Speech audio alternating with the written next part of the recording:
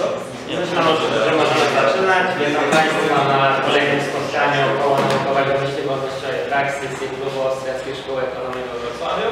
E, Naszym dzisiejszym gościem jest e, pan dr Mateusz Machaj, adiunkt w Instytucie Nauk Ekonomicznych Uniwersytetu Wrocławskiego, a także fundator i główny ekonomista Instytutu Mises. E, Tematem dzisiejszego spotkania jest myśl ekonomiczna Oskara Langego i jej krytyka ze strony szkoły austriackiej.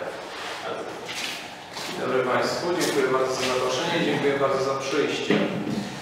E, Jak wiecie Państwo, Oskar Lange, albo nie wiecie, ale raczej wiecie, Oskar Lange jest osobą, która była niedawno patronem uczelni Uniwersytetu Ekonomicznego w Wrocławiu, jeszcze wtedy, kiedy była to Akademia Ekonomiczna. E, Z różnych przyczyn, e, zapewne, które o tym zdecydowały, natomiast bez wątpienia można stwierdzić, że Oskar Lange był umysł wybitny i umysł, który zajmował się rozmaitymi zagadnieniami ekonomicznymi. Nas natomiast, ponieważ to jest to koło Szkoły Ekonomii, e, będzie najbardziej interesować ten wątek kolizji myśli Langego z myślą szkoły austriackiej.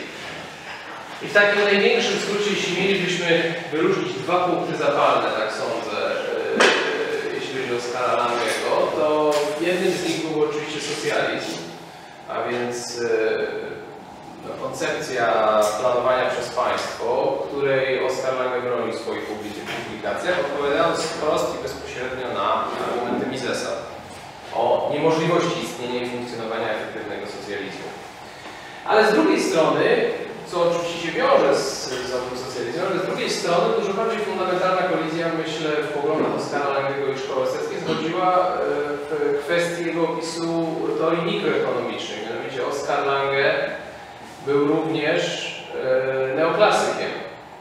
Neoklasyk, tak? Był również neoklasykiem, więc e, nie tylko istniał spór między Oskarem Lange a szkołą austriacką w kwestii tego, czy socjalizm jest systemem, który jest w stanie funkcjonować, ale również istniał spór co do tego, jak zdaniem Oskara, znaczy jak z, e, zdaniem Oskara Langego i zdaniem przedstawicieli szkoły austriackiej funkcjonuje rynek. To znaczy, jak ten rynek najlepiej Czy da się go opisać za pomocą praw naukowych, ekonomicznych, czy też się nie da? Od drugiej strony uważamy, że owszem się da. Natomiast istniała pewna bardzo znacząca różnica w tym opisie między Oskarem Lange, Oskarem Lange a szkołą austriacką. I w zasadzie myślę, że z tego, z tej właśnie fundamentalnej różnicy w opisie procesu rynkowego, tego jak funkcjonuje kapitalizm, narodziła się potem e, kolizja poglądów w kwestii funkcjonowania socjalizmu. Bo Oskar Lange, można taką tezę wysnuć, że Oskar Lange, Ludwig von Mises, przedstawiciele szkoły austriackiej, dlatego nie zgadzali się w kwestii tego, czy socjalizm jest efektywnym systemem gospodarczym, ponieważ mieli zupełnie inną wizję tego, jak funkcjonuje system kapitalistyczny. Jeżeli różnimy się w poglądach na to, jak system kapitalistyczny funkcjonuje, e, na czym polega jego efektywność i na czym polegają jego główne zalety, to również e, możemy się różnić, niekoniecznie, ale e, najprawdopodobniej będziemy się różnić e, w kwestii tego, czy ten kapitalizm może zostać zastąpiony, zastąpiony przez alternatywny porządek społeczno-gospodarczy, jakim jest socjalizm. Różnica e, między Misesem a, a Langem, tak Mises to takie ogólne oczywiście sformułowanie trochę na ogólnoaustriackiej szkoły ekonomii, bo pod hasłem Mises kryje się, e, kryje się grono ekonomistów. Tak jak pod hasłem neoklasycy kryje się Oskar Lange i. E, w zasadzie ta różnica może być już do prześledzenia e, pokolenie wcześniej, mianowicie do ich obydwu poprzedników, do Mengera i Valera. E, Leona Valera, tak też wybitnego ekonomisty, jednego z najważniejszych ekonomistów w historii myśli. E, obydwaj ci ekonomiści, Leon Valera i Karl Menger, e, są wymieniani w jako triumvirat, znaczy bo jeszcze do tego William Stanley Jevons, wymienia się jako taki triumvirat, który jest odpowiedzialny za przewrót w rozumowaniu ekonomicznym z lat, 80, z lat 70. XIX wieku, 71, 72. E, Kiedy to ci ekonomiści niezależnie pracując nad swoimi e, traktatami, znaczy po niezależnej, nie- niezależnej pracy nad swoimi traktatami opublikowali wielkie, wybitne dzieła dotyczące tego, jak ich zdaniem wygląda poprawny opis teorii konsumenta, czyli poprawny opis tego, jak ludzie dokonują wartościowania przedmiotów. To bywa też nazywane rewolucją marginalistyczną, rewolucją subiektywistyczną.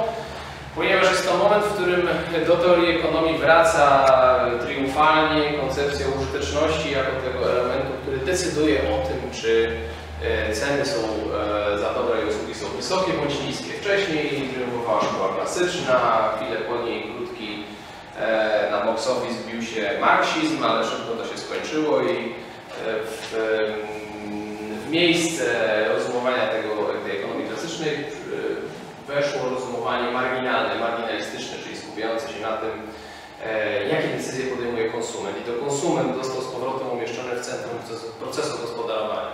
Chociaż szkoła e, klasyczna tak zwana, czyli ta jeszcze z czasów Ricardo, e, miała z pewnością bardzo istotny wkład nauki ekonomicznej, w zasadzie uczyniła z niej osobną dyscyplinę, bo wcześniej ekonomia de facto nie istniała. Przynajmniej do czasów Cantillona, chociaż niektórzy się z tym nie zgodzą, ale ja akurat uważam, że do czasów Cantillona ekonomia nie istniała. Wszystko, co było wcześniej, to jest prehistoria myśli ekonomicznej, tak naprawdę historia preekonomiczna. E, także zasługi szkoły neoklasycznej są bez wątpienia bardzo ważne dla rozwoju tej dyscypliny. Niemniej jednak głównym jej defektem było to, że konsument nie był umieszczony w centrum, e, w centrum zainteresowania tej ekonomii. I w latach 70.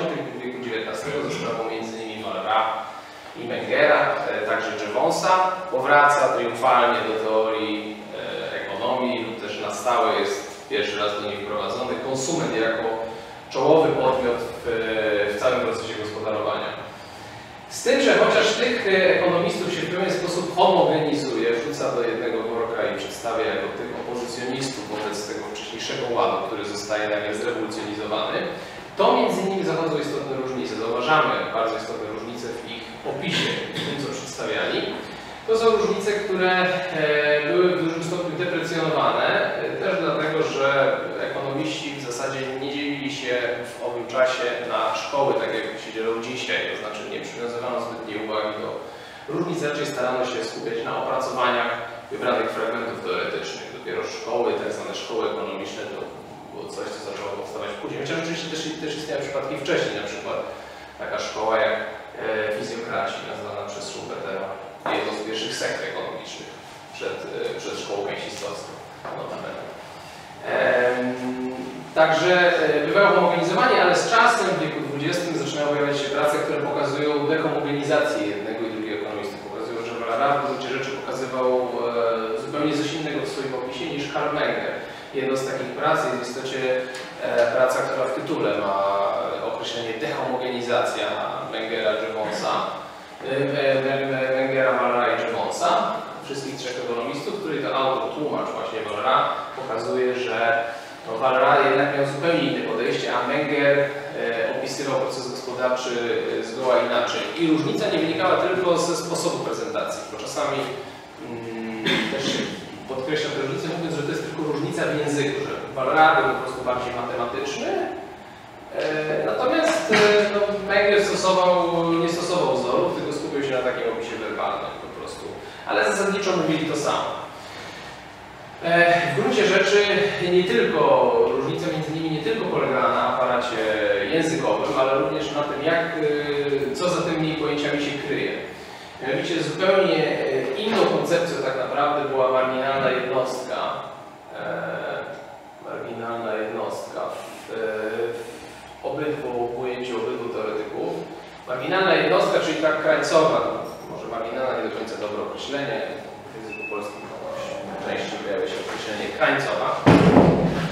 Ta krańcowa jednostka, chociaż pojawia się u jednego i drugiego ekonomisty, to e, zostaje opisana w zupełnie radykalnie inny sposób przez jednego i drugiego. Mianowicie e, przypadku Valera marginalna jednostka, bo marginalna jednostka dla tych, którzy z Państwa nie wiedzą, ale myślę, że większość raczej wie, że marginalna krańcowa jednostka to jest ta ostatnia dodatkowa jednostka danego dobra. E, na przykład jak mam pulę jabłek, 20 jabłek, to 20 jednostka to jest ta ostatnia, ta, co do której na końcu podejmuje decyzję. Eee, I ona jest tak naprawdę decydująca w dużym stopniu o tym, i w jaki sposób kształtują się ceny na rynku.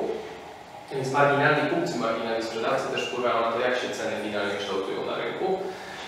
Eee, I u Valera ta marginalna jednostka, ta krańcowa jednostka jest nieskończenie mała tak naprawdę. To znaczy ona jest opisana za pomocą aparatu matematycznego, w którym mamy funkcję użyteczności i mamy tą funkcję ciągu, w oparciu o, nią- wyliczamy pochodne, pierwszą pochodną, drugą pochodną i z tego wychodzi nam tak zwane prawo mającej użyteczności krańcowej. Natomiast u Mengera, chociaż też jest opisane prawo mającej użyteczności krańcowej, czyli też mówiące o tym, że z każdą jednostką dodatkową, którą otrzymujemy e, w nasze posiadanie, użyteczność krańcowa spada, tak? Bo im więcej mamy dóbr, tym e, każdą kolejną jednostkę, generalnie rzecz biorąc, alokujemy w zaspokojenie późniejszych potrzeb, no, z definicji, bo to jest, bo alokujemy to później, więc jest to późniejsza potrzeba. Z tym, że ta krańcowa jednostka marginalna jednostka u Mengera, ona nie jest ona jest skonkretyzowana. E, I to jest znacząca jednostka, która jest e, rzeczą, która musi być alokowana przez jakąś osobę w oparciu o jej oczekiwania, decyzje, wiedzę. I o ile w samym pewnie e, sposobie matematycznej prezentacji nie, musi się pojawić konflikt jednego i drugiego, o tyle tak naprawdę w tym ujęciu Wallara, gdzie ta jednostka jest nieskończenie mała, ona jednocześnie jest zdeterminowana e, istniejącymi funkcjami jakimiś tam użyteczności. Jak gdyby implicit przyjmując taki aparat, Valora przyjmował jednocześnie, że ta jednostka krańcowa marginalna, ona jest od razu zdeterminowana, to jaką ona ma de facto. Natomiast u Mengera ona nie jest zdeterminowana, tylko ona jest determinowana przez wybór, spekulacje, decyzje, yy, szacowanie, zgadywanie, yy, trafne zgadywanie, nietrafne zgadywanie. Więc jak gdyby w, w tym ujęciu mengerowskim yy, tak naprawdę zostaje zbudowany chodniczek dla e, przyszłych jego następców, między innymi von Misesa, ponieważ skoro jednostka krańcowa jest niezdeterminowana, tylko ona jest determinowana wyborem i decyzjami e, właścicieli albo tych ludzi, którzy gospodarują nowymi marginalnymi jednostkami, to nie można automatycznie od razu w systemie gospodarczym przypisać jakiejś wartości uniwersalnej w pewnym sensie zobiektywizowanej tejże jednostce. Natomiast Valera stosując alternatywny aparat pojęciowy tak naprawdę już determinuje pozycję tej jednostki krańcowej marginalnej, jest w stanie określić jej jakąś w większym stopniu zobiektywizowaną wartość, e, chociaż ta wartość jest dalej subiektywna, to ona może zostać z góry określona, niezależnie od decyzji i wyborów, które e, podejmują jednostki, które podejmują ludzie. Tutaj jak gdyby ta, ta, ta wartość może. Jaka jest konsekwencja tego? No, konsekwencja tego jest e, następująca. No, skoro można taką odgórnie przypisać wartość i zdeterminować ją niezależnie od ludzkiego wyboru, no to faktycznie rodzaj instytucji, na jakie się zdecydujemy, czy to będzie własność prywatna, czy to nie będzie własność prywatna, nie będzie miał żadnego związku e, z tym, czy taki proces wartościowania da się przeprowadzić, czy go się nie da przeprowadzić. I Lange jako kontynuator Valora w gruncie rzeczy uważa, że no skoro mamy teorię wartości już przedstawioną, tak jak to e, jest w dziele Valora, to w gruncie rzeczy kwestia wyboru optymalnego sposobu gospodarowania, czy będziemy opierać się na poładzie socjalistycznym, czy zdecydujemy się na likwidację własności prywatnej, czy też postawimy na proces rynkowy, w którym właściciele prywatni decydują o tym, jak proces gospodarczy przebiega, to jest kwestia w zasadzie wtórna i nieistotna. To znaczy nie jest ważne, czy możemy mieć jeden system, czy drugi, bo jeden i drugi jest w stanie podobnie funkcjonować.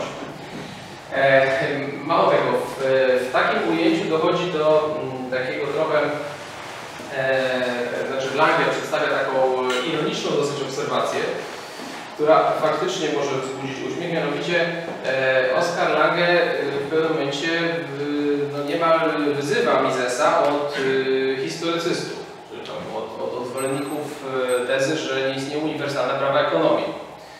E, co jest o tyle ironiczne, że Mises akurat był ekonomistą, który e, najwięcej ze wszystkich ekonomistów chyba w historii poświęca uwagi temu, żeby pokazywać, że istnieją obiektywne, uniwersalne prawa ekonomii, które są niezależne od historycznych okoliczności, czasu i miejsca.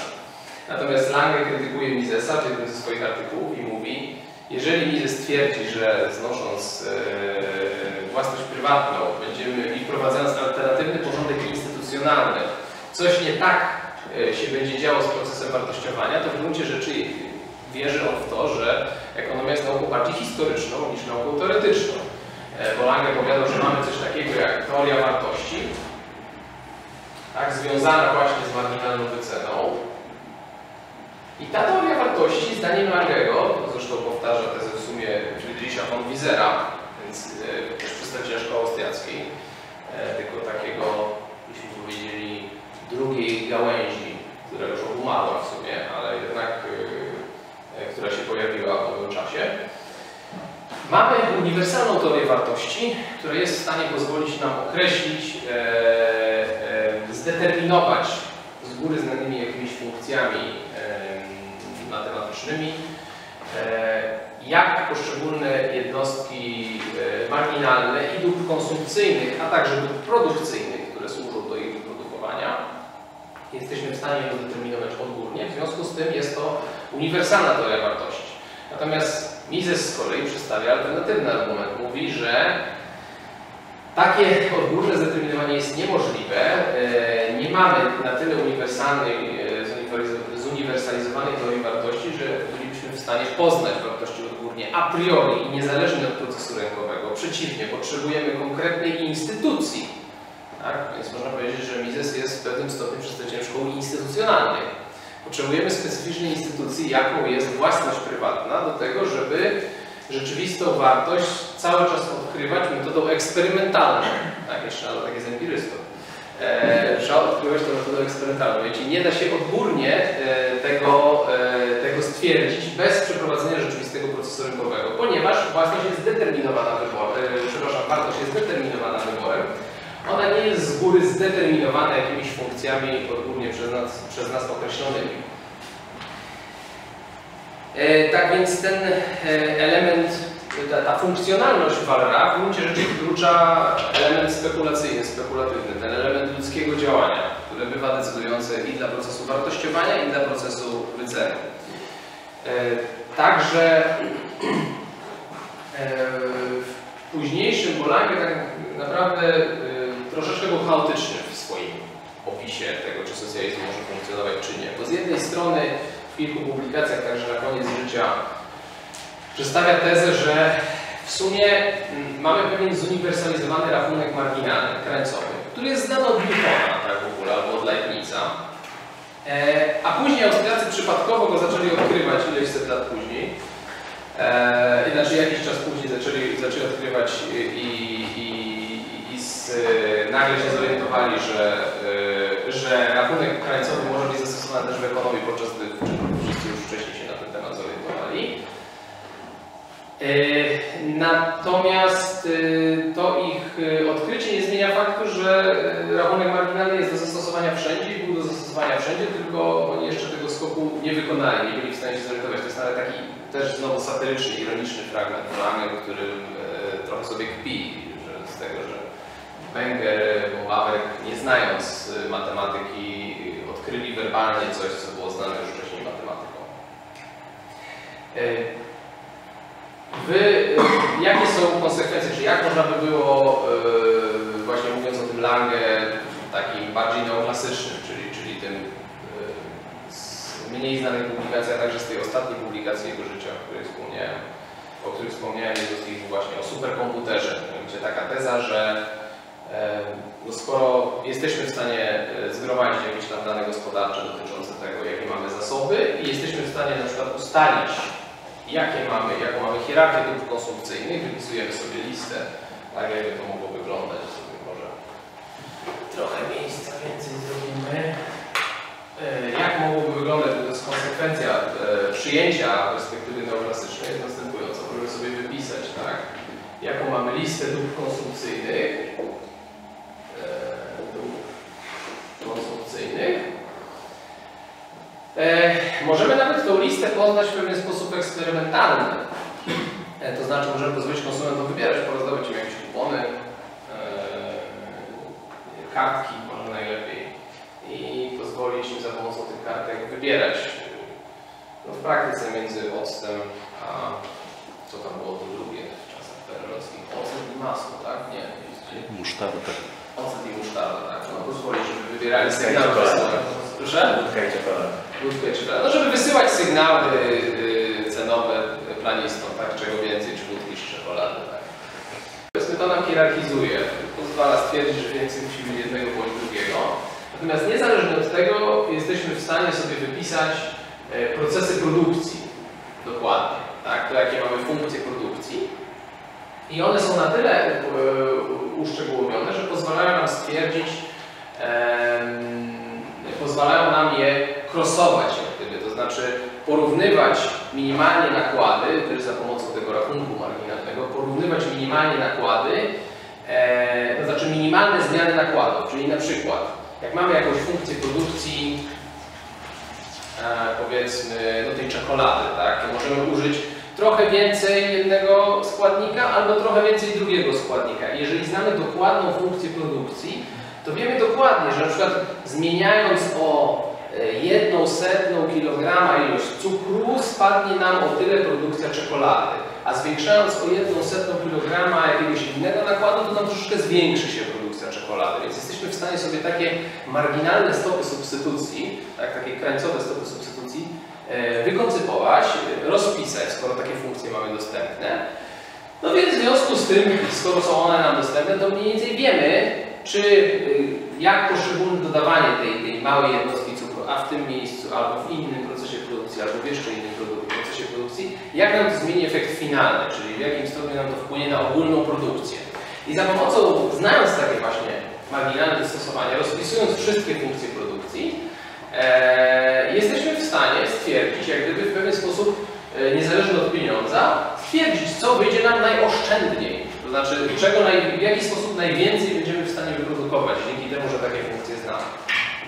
E, no więc to jest konsekwencja tego neoklasycznego podejścia i uniwersalnej teorii wartości. No skoro znamy preferencje konsumentów, czy tam listę, która być wyprodukowana, no to yy, sam, yy, sama decyzja jest już czysto, kwestią czysto techniczną. Tak? Tylko oczywiście yy, to podejście ma całą serię założeń. Między innymi jedną z nich jest taka, jedna z nich jest taka, o czym mało wspominał, że na przykład te równania czy te funkcje produkcji muszą być dostatecznie nieskomplikowane, bo jak wiedzą matematycy, problemy obliczeniowe można tak skomplikować, że a w rzeczywistości procesy e, gospodarowania są tak rzeczywiście skomplikowane, że nie da się ich tak naprawdę rozwiązać. Są- istnieje coś takiego równania nierozwiązywalne w istocie. I nimi są e, procesy produkcyjne. Ale nie tylko to. Y, Inna sprawa dotyczy tego, że e, nasza wiedza jest tak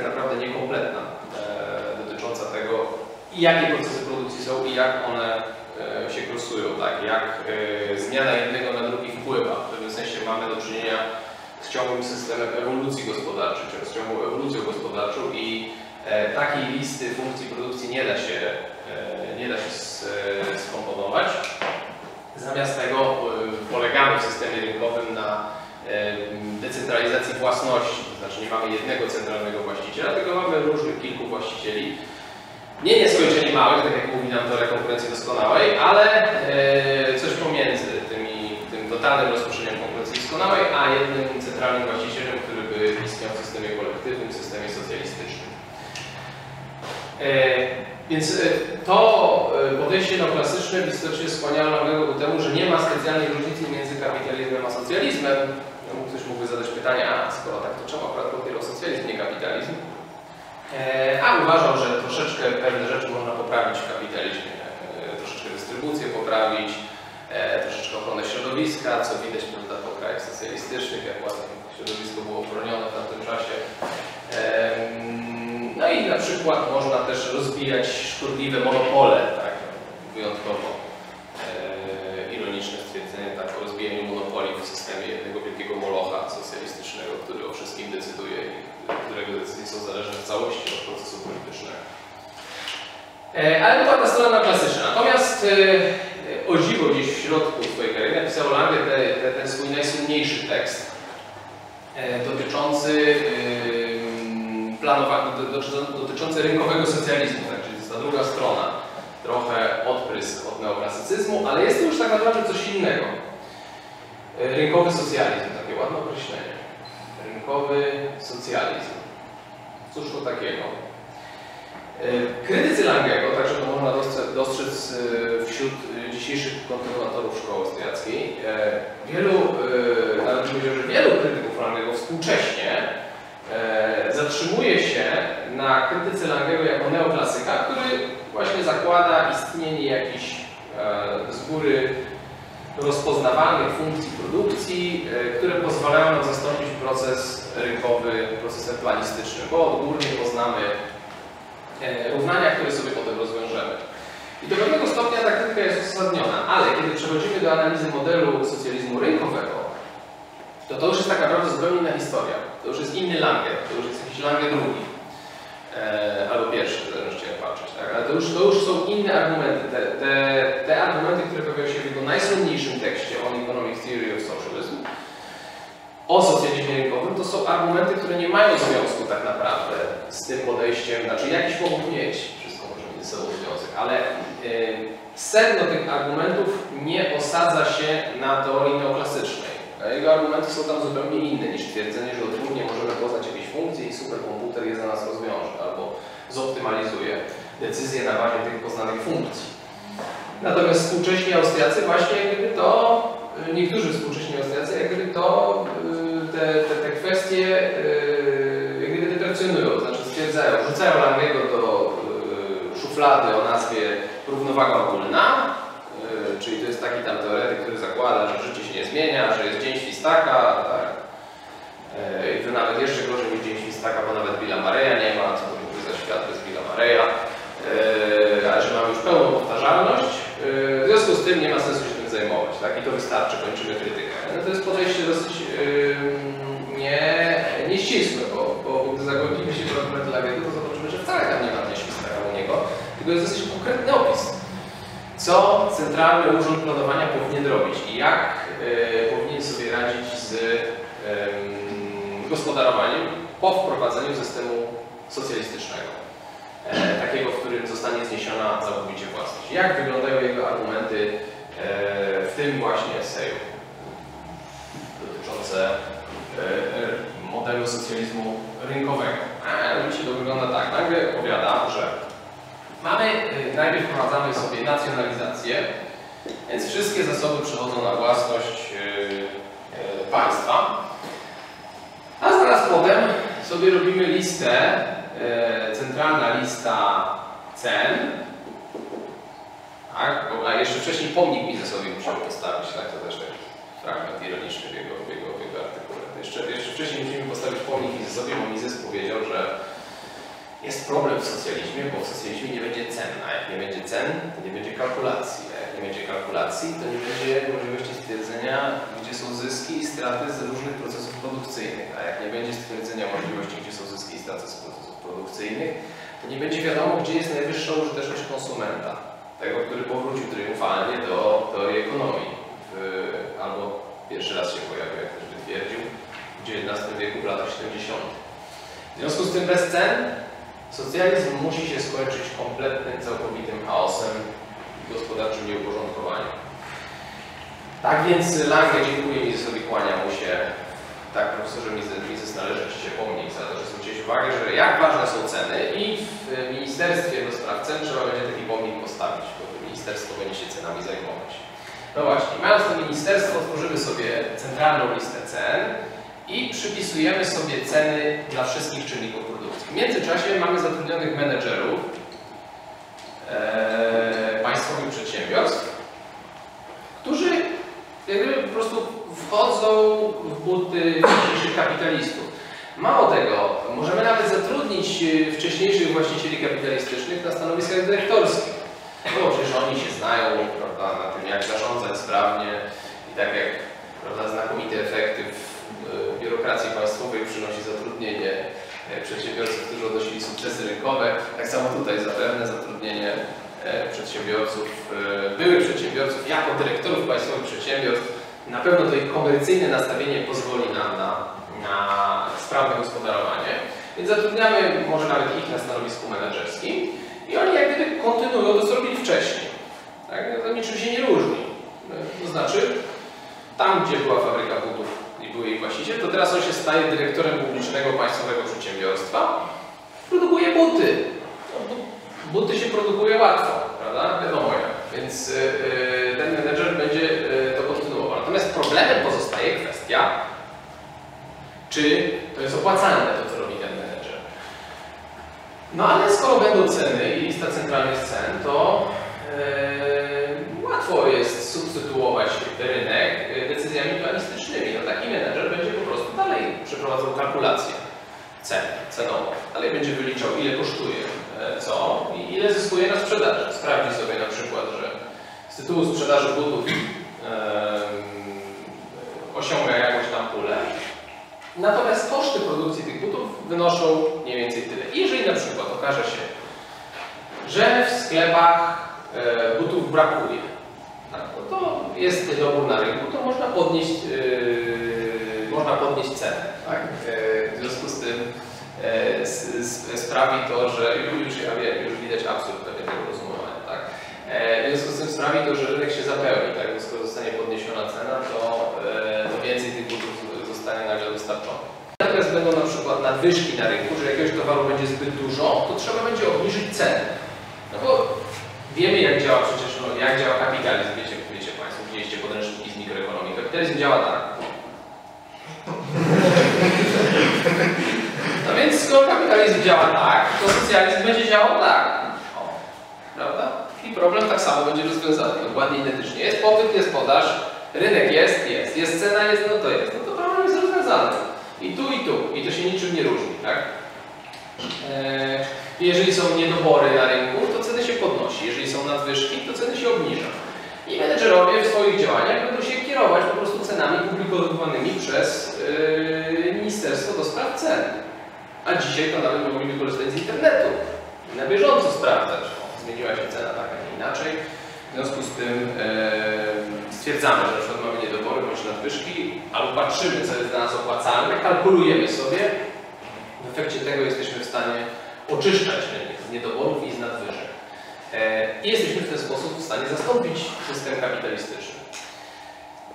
E, więc jak widzicie Państwo, jest to innego rodzaju argument niż ten argument wcześniejszy, prawda? O równowadze ogólnej, o tym takim odgórnym rozpisaniu wszystkich możliwych procesów produkcyjnych i stwierdzeniu na bazie e, funkcji produkcji, która z nich zużywa najmniej zasobów i przynosi największe fizyczne owoce produkcji.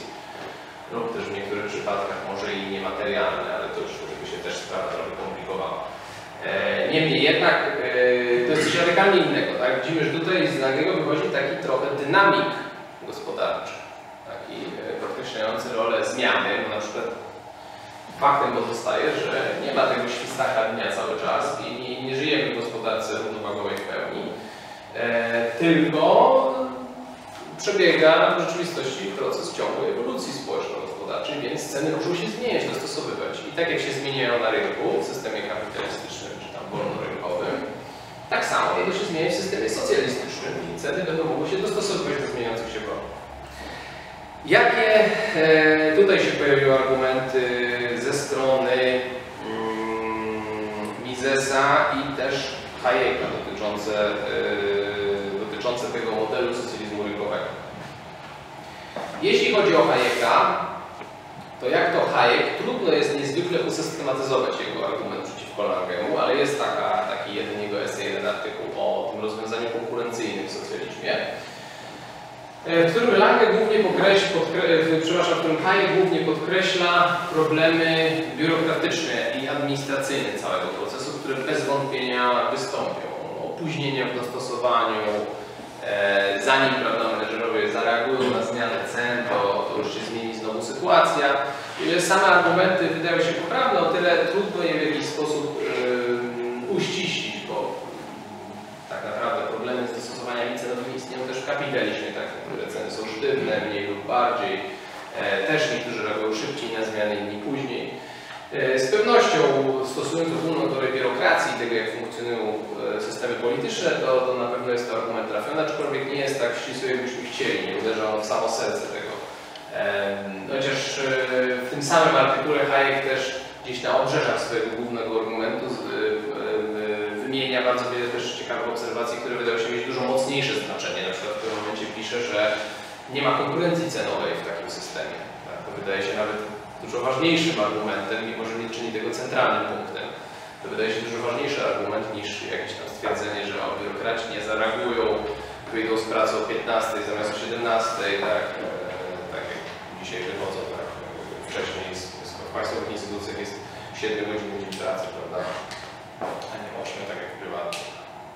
18 znaczy prywatnych, tak. E, więc e, to, to, to jest ta odpowiedź Hayeka, natomiast inna jest też odpowiedź Misesa, e, która dopiero się pojawia w ludzkim działaniu. Mianowicie e, Mises określa e, ten model Langego trochę zabawą w rynek. Dlaczego e, po- podkreśla to zabawą w rynek? Mianowicie no, mówi, że e, proces rynkowy, to znowu rozwinięcie trochę teorii węgierowskiej.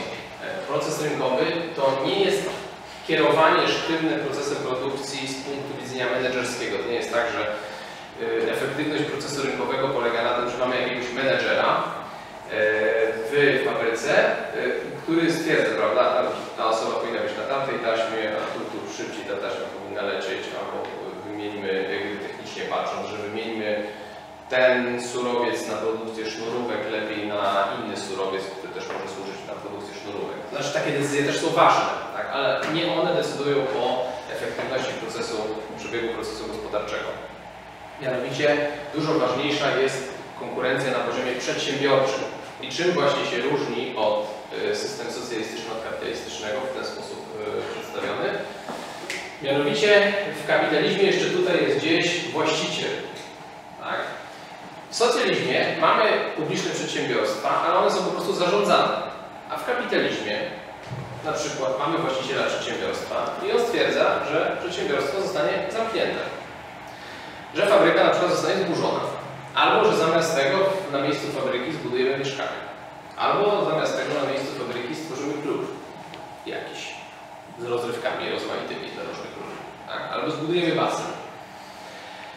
Yy, I te decyzje, one są yy, również podejmowane w socjalizmie, ale one już nie są podejmowane na zasadzie konkurencyjnej, bo one są yy, w kwestii decyzyjnej organu centralnego. W związku z tym to, co jest głównym wyznacznikiem w zasadzie początku procesu gospodarczego, zostaje zmonopolizowane w socjalizmie. I to jest główny problem. Nawet jeśli mamy jakąś konkurencję na poziomie menedżerskim, to nie zmienia faktu, że znika nam w systemie nacjonalizacji, znika nam ta funkcja właścicielska. To oznacza konkurencję nie tylko wewnątrz, tak, na poziomie dyrektorskim, wewnątrz instytucji, ale znika nam konkurencja na przykład na rynku kapitału. Znika nam konkurencja na rynku bankowym. Znika nam konkurencja na rynku giełdowym przede wszystkim, tak? No bo roz, znakiem rozpoznawczym systemu e, kapitalistycznego, chociaż nawet niektórzy sympatycy systemu kapitalistycznego e, nie lubią giełdy, to znakiem rozpoznawczym jest właśnie giełda. Także giełda jest takim miejscem, które pozwala na arbitraż kapitałowy, na wymianę kapitału. Pozwala na to, że poszczególne e, całe procesy gospodarcze, całe wielkie projekty, które są podejmowane, one są permanentnie wyceniane. Są ciągle wyceniane. Można oczywiście wysunąć mnóstwo zastrzeżeń całkiem zasadnych wobec dzisiejszego systemu giełdowego, wobec tego, jak on funkcjonuje. Tak samo wobec systemu bankowego. Ale nie zmienia to faktu, że jakieś szczątki systemu rynkowego i mechanizmu zysków i strat, który efektywnie pozwala się dostosowywać, istnieją i w jednym, i w drugim przypadku. Tak? Z pewnością lepiej mieć system e, banków komercyjnych z bankiem centralnym, w którym mamy rozproszone ryzyko, niż mieć jeden bank centralny, który weźmie na siebie całe ryzyko finansowe. Tak? To jest zresztą taka ogólna teza e, przedstawiana w e, literaturze makroekonomicznej dotyczącej przykład rynków międzybankowych. I tak samo w dzisiejszym systemie kapitalistycznym, który ktoś mógłby krytykować, że system giełdowy nie jest do końca sprawny albo bankowy. Tak, ale mamy jakiś rynek, który pozwala nam na wszczęcie szczątki efektywności. Tak? On Mises powiedział, że rynek powinien być jeszcze bardziej wolny i zupełnie inaczej funkcjonować. Ale skupił się jakby na samym e, istnieniu, konieczności istnienia mechanizmu, który jest nieobecny zupełnie, który, którego nie ma w systemie socjalistycznym, dlatego że on zostaje zlikwidowany, bo konkurencja na poziomie właścicielskim, tych właśnie decyzji, a ja tu postawię taką fabrykę, a ja postawię inną, ona zostaje zlikwidowana, zostaje zniesiona. I tego tak naprawdę brakuje w systemie socjalistycznym. I tego nie da się stworzyć na, w taki sam papierowy sposób, jak, jak chciałby Lange stworzyć listę cen i menedżerów publicznych, którzy ze sobą e, ponoć konkurują. Nie da się stworzyć tego głównie, bo zasada socjalizmu jest taka, że jest jeden centralny właściciel jest jeden centralny właściciel i ten jeden centralny właściciel decyduje o tym, jakie procesy produkcji zostają podjęte. Konkurencja na, na tym poziomie to jest główny, jego, główny problem e, systemu socjalistycznego. E, rynek ziemi na przykład, tak, no, no to, to, to też nie jest tak naprawdę omówione. No, ziemia też powinna mieć jakiś swój rynek, który pozwala na jej wycenę, to też w zasadzie jest nieobecne w systemie socjalistycznym. Nie ma rynku ziemi, nie ma rynku giełdowego, nie ma rynku kapitałowego, nie ma rynku kredytowego. Można nawet twierdzić, że nie istnieje rynek menedżerski, bo, bo jak się wybiera menedżerów do tych przedsiębiorstw?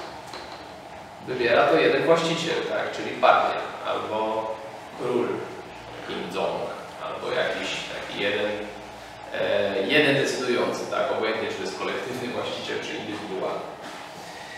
E, Natomiast do tego, e, do tego, e, do tej krytyki można jeszcze dodać taki, e, tak, tak, e, taką jedną obserwację, mianowicie e, zwrócić uwagę na to, że Lange posługuje się w sposób e, e, specyficzny e, nazwą cena. Tak, nazwą cena. I to sprawia, że nie zauważy różnicy między ceną w systemie takiego socjalizmu rynkowego, a ceną w systemie kapitalistycznym.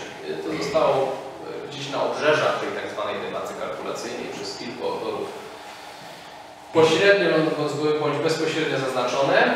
Ta różnica między ceną w socjalizmie a ceną w kapitalizmie. Mianowicie e, w systemie socjalistycznym e, ceny spełniają zupełnie inne funkcje niż w systemie kapitalistycznym, dlatego że ich źródło powstania jest zupełnie inne. Mianowicie w systemie kapitalistycznym, kiedy wykształca się, wykształcają się ceny, to one są efektem działań niezależnych od siebie właścicieli, którzy ze sobą się mogą zgadzać bądź, nie zgadzać. I z tego względu cena stanowi realne ograniczenie na działania przedsiębiorców. Co to znaczy? Na przykład, jeżeli otwieramy jakąś e, restaurację, to musimy w nią zainwestować. Musimy zapłacić za ustawienie okien, za pomalowanie ścian, za położenie karniszy, zasłon, za oświetlenie, za prąd, za doprowadzenie różnych mediów, za wmontowanie drzwi. Za to wszystko musimy zapłacić. Co to znaczy, że musimy za to zapłacić? Że musimy odciągnąć procesy od, od alternatywnych procesów produkcji inne zasoby. Farbę, lakier, drewno, żelazo, prąd. I ktoś inny z tego nie skorzysta, bo my skorzystamy. I nasza decyzja o tym, żeby, żeby zapłacić, jest w pewien sposób ograniczania cenami. Tak? Bo przedsiębiorca patrzy, o, muszę zapłacić taką, a inną cenę, więc to mnie w pewien sposób ogranicza. Tak? To mi wysyła jakiś, jakiś sygnał, że są inni przedsiębiorcy na rynku, którzy mają jakieś, jakieś alternatywne wizje. I na przykład nie zgadzają się z tym, że taka restauracja powinna być otwarta, tylko uważają, nie. Te zasoby mają wyższą wartość, my je odciągniemy do innego procesu produkcji. Więc w pewnym sensie można tutaj rynki postrzegać jako monologi. Jest taka słynna metafora w literaturze ekonomicznej, że rynki to są dialogi. To jest komunikacja. Także wysyłamy sobie informacje, zgadzamy się co, co, co do pewnych rzeczy. Natomiast jeśli spojrzy na rynek z perspektywy konkurencji, nie o kooperacji, to rynki to są pewne sobie monologi, to jest walka jakaś taka, tak, intelektualna między przedsiębiorcami i między, przedsiębiorcami. Oni się nie zgadzają co do tego, które procesy produkcji są efektywne, a które nie. I cena jest wyrazem z jednej strony takiej niezgody w równoległych oczywiście procesach produkcji, bo ten, co sprzedaje, ten, co kupuje, to się zgadzają co do ceny. Natomiast e, ten, kto wypada poza rynek, bo nie jest w stanie zapłacić odpowiedniej ceny, to on jak gdyby się nie zgadza z, z, z tą wizją. Uważa, że ktoś przepłacił za ten zasób. Tak? I albo będzie miał rację, albo nie. Zobaczymy rynek jako metoda eksperymentalna, to zweryfikuje. Natomiast w przypadku systemu socjalistycznego, jak mamy właściciela, jest nim jeden właściciel i ceny, y, które zostały wprowadzone w tym systemie, one nie są rezultatem takiego procesu konkurencyjnego, czyli y, kolizji, współpracy, kooperacji i konkurencji różnych woli przedsiębiorców na rynku, tylko one są odgórnie wymyślone przez jednego właściciela centralnego. Tak? Dlatego spełniają zupełnie inne funkcje. Dlatego, że w systemie socjalistycznym cena nie jest żadnym ograniczeniem. E, bo jest wymyślona przez centralnego planistę, przez jedną e, centralistyczną, socjalistyczną interpretację tego, który sposób gospodarowania jest jej zdaniem efektywny, a który nie. E, więc trudno jest traktować ceny w systemie socjalistycznym jako pewien niezależny wskaźnik kosztu alternatywnego. W taki sposób, jaki to jest w systemie kapitalistycznym. Bo w systemie kapitalistycznym, kiedy przedsiębiorca doświadcza, doświadcza ceny, to jest jakieś ograniczenie nałożone na niego przez innych. A w systemie socjalistycznym centralny planista wymyśla sam tą cenę, więc jak gdyby sam wymyśla siebie ograniczenie, czyli to nie jest żadne ograniczenie. Tak? Bo może na przykład tą cenę zmienić, a nawet jak jej nie zmieni, na przykład poniesie straty, z tytułu prowadzenia działalności, w cudzysłowie, straty z tytułu prowadzenia działalności, to te straty skończą się tym, że zyski przepłyną do centralnego planisty z powrotem. Tak? Z powrotem do centralnego planisty. E, tak, e, wyobraźmy sobie na przykład e, podjęcie jakiegoś procesu produkcyjnego przez załóżmy przedsiębiorcę w systemie kapitalistycznym, którą wiele osób uważa za projekt nieopłacalny. On inwestuje swój kapitał, przepłaca, wielu ludzi uważa, że przepłaca, ale za jakiś czas może się okazać, że jednak konsumenci albo kolejni przedsiębiorcy w łańcuchu produkcji w wyniku zmian, które zajdą w ciągu roku, dwóch, trzech lat na rynku, nagle może się okazać, że to jest projekt zyskowny, że się zmieniła sytuacja na rynku. W związku z tym ta decyzja się opłaciła. Tak?